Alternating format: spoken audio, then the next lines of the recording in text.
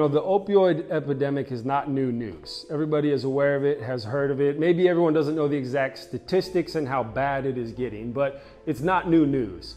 But just to break it down a little bit, we're losing more people on a yearly basis than the entire Vietnam War combined.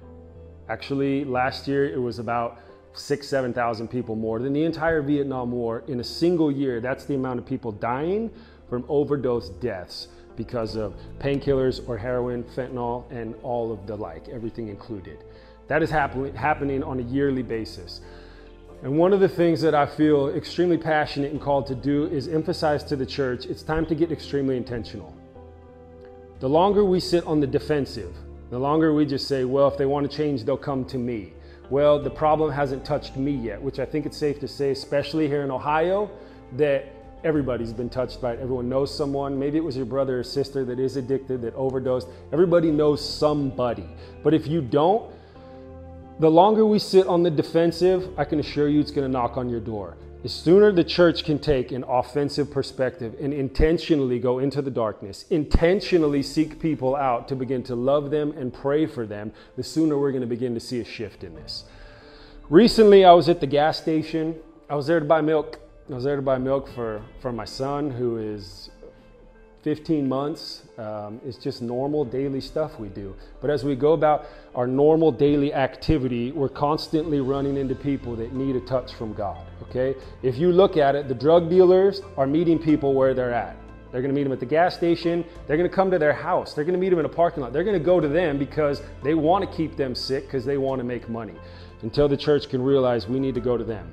The, you're going to meet them at the gas station. You're going to see them at the grocery store. Step out of our comfort zone. That's where the comforter comes, and we begin to love people, plant seeds, and watch God do things. So there I am. I get out of the car to go into the gas station. My wife is sitting there, kids in the back seat. Just a quick in and out. Okay, I see him here. I said, "What can I get for you, man? What do you want?" He says, he was a little taken off. He was a little like, well, "I don't know, man.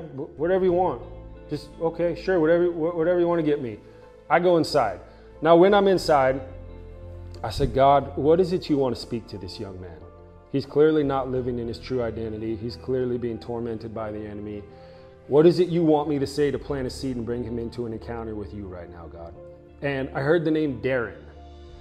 God didn't say it's his brother. I didn't get any more elaborate, detailed information after that. I just heard the name Darren. That's it. I bought him his stuff. I go outside.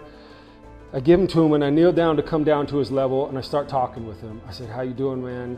What's going on? I look down, he's got hate tattooed across his knuckles. I said, Looks like you're having a rough day, man. What's going on? He begins to tell me. He wasn't really giving me too much information. He had his guard up a little bit. I said, Look, man, I want you to know that God loves you, okay?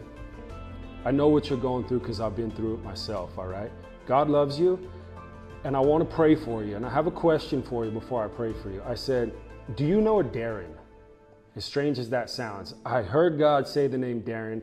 Are you friends with a Darren? Does that name make sense? He looked at me extremely perplexed. He says to me, Yeah, yeah, I know Darren. Darren, Darren is my friend right now. Uh, he, he's in Texas, El Paso, and he just recently slammed some heroin that somebody mixed with battery acid. And his arm got so infected that they were contemplating, that the doctor said they were gonna have to cut his whole arm off. Now I'm sitting there and I'm like, well, that's not what I was expecting. What, what, what do you want to do now, God? What am I supposed to do now? I said, well, look, man, Jesus it says that there were times where he just sent the word. He wasn't even there physically. He just sent the word and the person was healed. I said, So this is what I'm going to do. I'm going to stand right here. And I don't believe that God's going to bring up the name Darren unless he wants to do something about the situation. So what I'm going to do is I'm going to pray for your friend Darren right now, believing God's going to do what only he can do. And I'm going to pray for you right now that God changes your life. So I knelt down to his level and I'm looking him right. I didn't close my eyes. I looked him right in the eyes. And I started praying for him with a very. it was it was an intense moment and i'm staring right in his eyes. And i said god i just want and i just started praying for him. And i could see it was as if the oppression and the darkness on him was didn't like it at all because he was looking at me like fighting. He started gritting his teeth and looking at me and he started getting really bothered. I could tell. And I just looked him right in the eyes and kept saying, I just want you to know God loves you, man. I just want you to know God. I just pray for his friend Darren right now. I just pray for this. And after about 10 seconds of that, he just finally, his eyes closed and he bowed his head. And he just sat there as I was praying for him, shaking. He couldn't stop shaking. I prayed for his friend for freedom, for healing over his arm. I prayed for him for freedom to come crashing into his life and for him to be freed from addiction.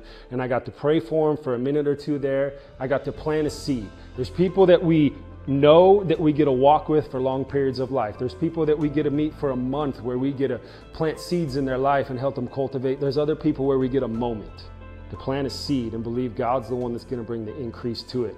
And until we realize we need to be extremely intentional in this season, we need to step out of our comfort zones and put ourselves in situations where only God can show up and do what it is we need Him to do. It's time we take the offensive and begin to bring the kingdom into that realm of addiction that so many people are dying from.